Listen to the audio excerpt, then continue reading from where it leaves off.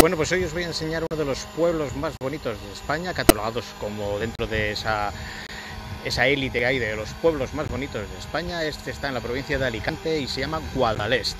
Tiene un par de castillos muy chulos. Vamos a verlos.